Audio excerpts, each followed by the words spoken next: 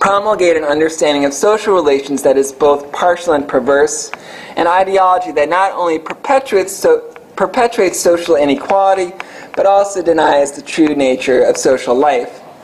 Hartsock argues that a feminist standpoint arises not out of any essential feminine difference, but rather because women have tended to occupy social roles involving material sustenance and support, and this proximity to materiality allows them to understand how much our everyday lives depend upon the satisfaction of material needs. Influenced by Hartsock, Sara Ruddick explains that, quote, Care workers depend on a practical knowledge of the qualities of the material world, including the human bodily world in which they deal. This means that the material world, seen under the aspect of caring labor, is organized in terms of people's needs and pleasures, and uh, by extension of uh, the needs and pleasures of uh, anything else that is uh, instrumental or intended for its own sake. Ruddick's research into caring labor is carried through an investigation into maternal thinking she defines maternal thinking as the pattern of cognition that, that emerges out of the practice of mothering, a set of attunements one acquires as one becomes responsible for meeting the de- demands of a child. Now, the child uh, confronts the mother as a completely helpless being, one who is totally dependent upon her, the mother, for the satisfaction of its most basic needs. The activity of mothering requires that the mother, who, according to Ruddick, can be of any gender, respond to the material reality of human vulnerability in a way that does not enforce power relations. Even the weakest child can overwhelm the fragility of a dependent child. But domination is not what defines the activity of mothering. Instead of establishing rigid control over the child, Ruddick recommends what she calls holding as the best way to preserve its fragility, a, a practice that maintains the safety of the child, promotes its strength, and allows it to flourish without establishing any ownership over it. In addition to uh, reconsidering the importance of maternal care, other feminist thinkers have similarly reevaluated the, the category of domestic nurturance. For example, Bell Hooks uh, discusses how black women maintain what she calls home place as a site of resistance against rampant racism, a refuge where people could gather and heal themselves from the wounds influenced by a hostile society. Now, many contemporary anarcho feminists avoid themes such as mothering and household out of a desire to avoid gender essentialism. And there are other reasons, too, why these are problematic. However, we do read anarcho feminist authors arguing that traditionally feminine concerns such as domestic labor, sexuality, child rearing should be treated not just as addendums to the anarchist project that must be central to our vision of an anarchist society. This attitude was uh, expressed most strongly by Roxanne Dunbar in an early essay. She says, quote, if the maternal traits conditioned to women are desirable traits, they are desirable for everyone, not just women. By destroying the present society and building a society on feminist principles, men will be forced to live in the human community on the terms very different from the present. For that to happen, feminism must be asserted by women and as men uh, as the basis for revolutionary social change. Um, I would argue that the importance of maternal nurturance is at the very core of the anarcho communist project, articulated by Peter Kropotkin and others. Uh, Malatesta once uh, attested to this aspect of Kropotkin's personality, saying, quote, I remember what Kropotkin did in Geneva in the winter of 1879 to help a group of Italian refugees in dire straits, among them myself. I remember the small attentions I would call maternal, which he bestowed on me one night in London. Having been the victim of an accident, I went and knocked on his door. I, re- I recall the uh, innumerable kind actions towards all sorts of people. But beyond this anecdotal evidence, uh, when we read Kropotkin's work, we should be reminded of how much his thinking resonates with Sara Ruddick's characterization of care work as the organization of the, of the material world in terms of people's needs and desires. The best way to understand Kropotkin's thinking is to see how much it embraces human vulnerability and how much it insists upon the paramount value of nurturance. In his writings on mutual aid, Kropotkin repeatedly articulates the value of human dependency. For example, he characterizes uh, solidarity as, quote, the unconscious recognition of the force that is borrowed from each, by each man from the practice of mutual aid, of the close dependency of everyone's happiness upon the happiness of all. Now, here we have a conception of dependency that does not immediately reduce it to domination. In fact, I would argue that Kropotkin's notion of mutual aid emphasizes human dependency more than it does human capacity.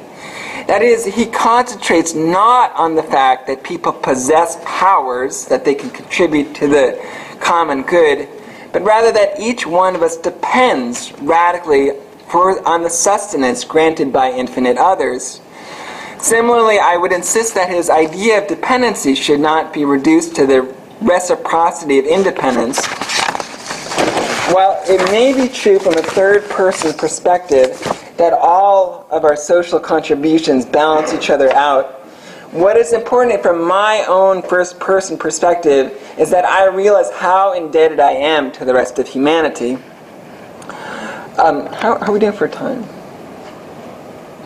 10 minutes? Okay, good. All right. Uh, Kropotkin's interpretation.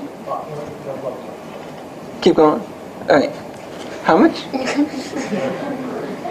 Okay, all right. All right, all right, all right, all right, just go. All right, thanks. All right. All right, Kropotkin's, Kropotkin's interpretation of human dependence uh, provides the basis for uh, his critique of property ownership. One depends so utterly upon what other people have already contributed that one never has a foundation to claim anything as one's own. Private property is unjust, according to Kropotkin, not simply because it fails to recognize the worker's agency. So it's not just an exploitation critique uh, as a producer, but rather because it neglects to accept our infinite dependency as consumers and so Kropotkin says, quote, all things are for all men, since all men have need of them. Since all men have worked in the measure of their strength to produce them, and since it is not possible to evaluate everyone's part in the production of the world's wealth, that each and every person has a right to well being. There's a right to well being for all. So, according to Kropotkin, the problem of satisfying need needs is the most essential problem of all revolutionary problems. And the question of how we nurture each other is the most important of all uh, revolutionary questions. This analysis of, of, human needs also provides the basis for Kropotkin's critique of capitalism and the state. First of all, uh, Kropotkin argues that capitalism, supported by the state, reorients material life such that it caters to the needs of the rich rather than providing uh, well-being for all of humanity. Production becomes uh, focused on, on, producing luxury items for the wealthy, and by extension, uh, for wealthy countries like the U.S. Um, second, he explains that the wealth of the wealthy ultimately derives from the poverty of the poor only because people are allowed to suffer such profound material destitution can the capitalist compel them to become laborers, paying them a meager wage that allows them barely to subsist. Third, one of the alibis that the state employs to justify its existence is its monopoly over the activity of care. The state eliminates auton- or has eliminated autonomous institutions of mutual aid, replacing them with various state-run forms of charity, welfare, and health care. Now, any form of care is significant, and so we should fight to preserve, you know, all these, even the state one. But still, the, the, the care function of the state has allowed it to masquerade the fact that the state exists as the institution which facilitates the domination of the rich and the powerful and abets the immiseration of the poor and the subjugated. Okay, well, so despite the, the, the, efforts of the state to monopolize caring, anarchists still have persevered in the effort to create a society based on mutual aid. The revolutionary significance of an anarchism based on nurturance can be observed both in institutional and spontaneous settings. Anarchist groups such as Food Not Bombs organize to feed the hungry. The Really Really Free Market organizes to provide a space for free exchange of goods. The Icarus Project organizes to help people with uh, psychological difficulties give each other support, therapy. Squatting initiatives help people find shelter.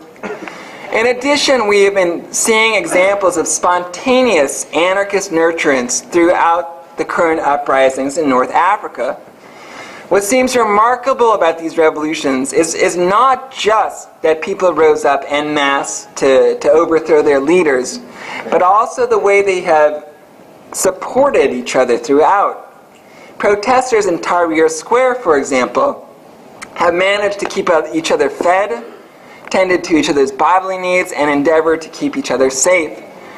Uh, reporting from Egypt, uh, Mohammed Bamyeh uh, reports how the occupants of the square, quote, established autonomous field hospitals to treat the injured, formed street committees to maintain security and hygiene. I saw peasant women giving protesters onions to help them recover from tear gas attacks, and countless other incidents of generous civility amidst the prevailing destruction and chaos. During the ensuing week and a half, uh, millions converged on the streets almost everywhere in Egypt, and one could empirically see how noble ethics, community and solidarity, care for others, respect for the dignity of all, feelings of personal responsibility for everyone emerge precisely out of the disappearance of government. And uh, even more so, this has been happening now that uh, uh, the Tunisians are welcoming the Libyans, uh, refugees. Here's just a quote. Um, this is how it is. These are our customs. If there's something to eat, we will eat it together. If there's nothing to eat, we will have nothing together. And that's a Tunisian expressing his gener- generosity.